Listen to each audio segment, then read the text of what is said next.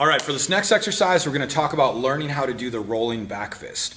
Um, I love this move because I think it really speaks to the essence of Chinese boxing as far as like going with the flow, flow like water, um, taking the path of least resistance, right? I think it makes a lot of sense. So when I'm going to punch, my opponent blocks my hand out of the way, and I move around with that motion, and I trap his arm, and I come back with the back fist.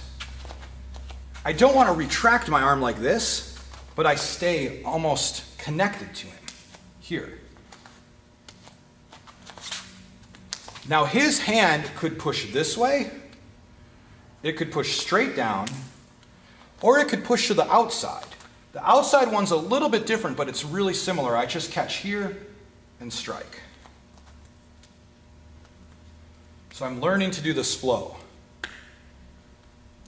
How might this look from a, a practical fighting application? Maybe we're here like this, and I'm, I'm going to have you do right leg forward just for now so the camera can see it. So maybe I'm here like this, and I feint a low punch. When I do it, he blocks with his hand.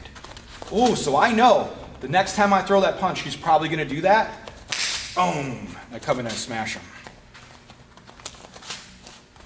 Oh, it makes me look fast, even though I'm not fast, right? Because sometimes being fast isn't about how fast you are, it's about doing the right motion at the right time.